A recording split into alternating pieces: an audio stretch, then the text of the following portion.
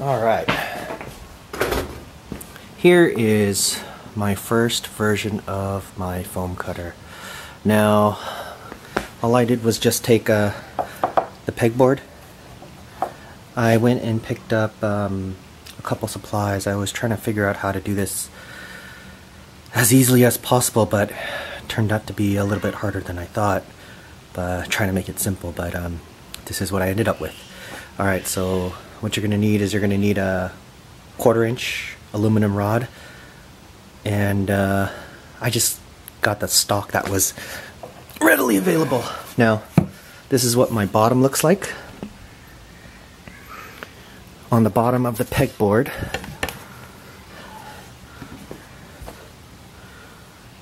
I cut three legs and this one's gonna have to be offset just because you want your rod to be sticking up out the top. Okay, so now I have um, an eye bolt and nut. I went ahead and went quarter inch because make things simple, everything quarter inch holes. So I drilled one hole here, quarter inch. I drilled a quarter inch hole here and here and I bent the rod in here, bent the rod in here, and this is actually really loose but because of the bend, when you squeeze it together, it actually gets pretty tight. If you squeeze it in too far, the wood actually splits. So I had to actually chop it off and start over because I had all three wood pieces were the same length, but this works out too. Now, if you take a look at it, the wood in the center is a little bit off center. That's because I wanted to make my cutting rod as straight as possible. All aligning to that little eye, hook. eye, eye hook. Okay, so three pieces of wood, pegboard. I went ahead and used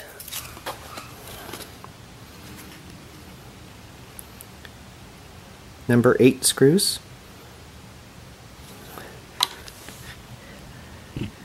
And I actually drilled them in right there.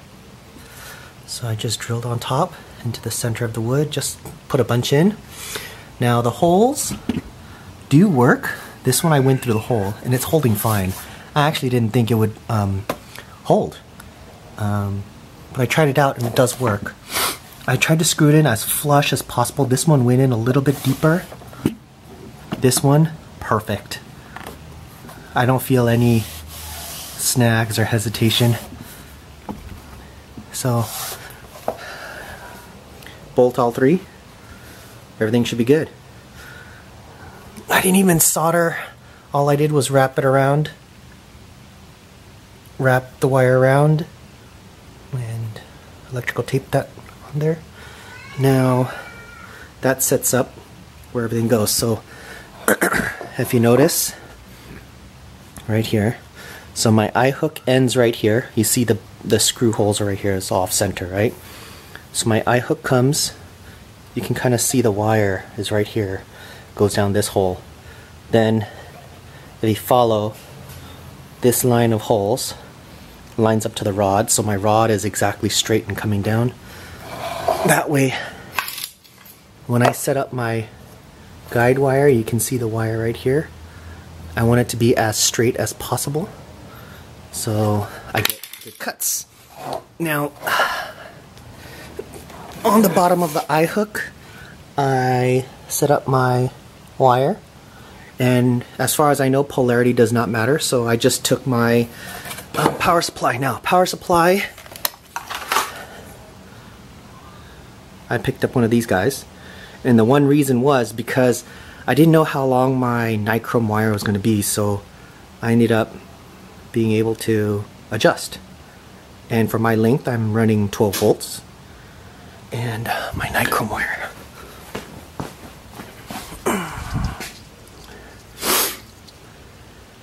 I got this for pretty cheap. 28 gauge.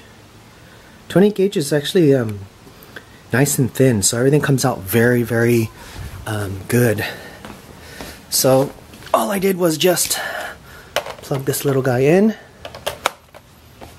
Okay, nice little switch on off. And everything cuts pretty good. I was able to cut um, even little slivers like this. Um, as long as you go slow, everything works really good. Alright, so what I ended up doing was looping the wire about four or five times and wrapped it around. It didn't really even just tie it. I wanted to make sure I didn't bend the nichrome wire too much because um, if you get a crease in it, it kind of sucks on the cut line. So I went ahead and just looped it around there.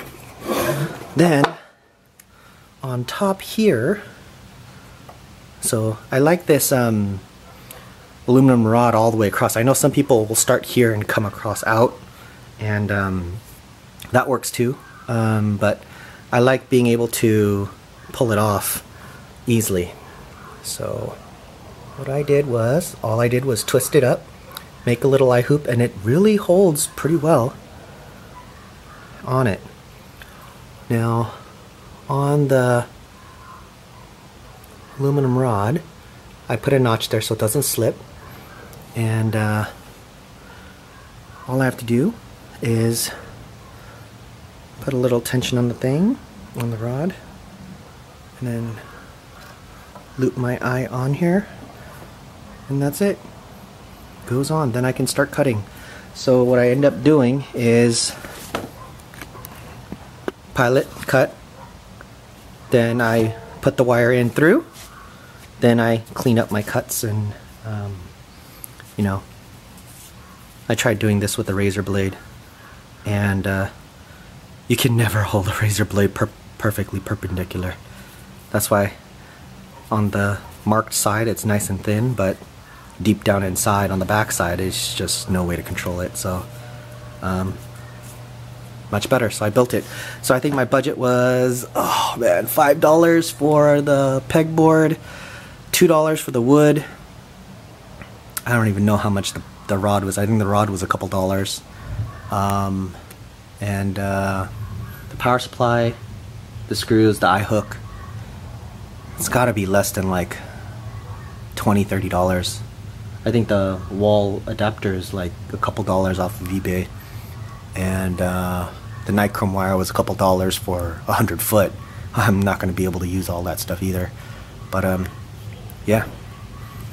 So I'll try um posting a couple pictures as soon as I um get some cuts done, or actually a video of me cutting, and uh, you can see how it works. But that's the piece of wood. I originally thought I was going to use the 1x2, but that didn't work out. I actually used this one just because I thought I'd get a little bit more stability out of it. But um, it was just random.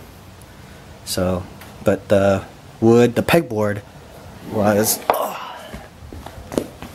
was this one that I got for five dollars at Lowe's. Cut it in half like that. Cut it in half and just went to town on it. And all I did was just um, I used a razor, cut it, bent it, cleaned up the edge. Everything was good.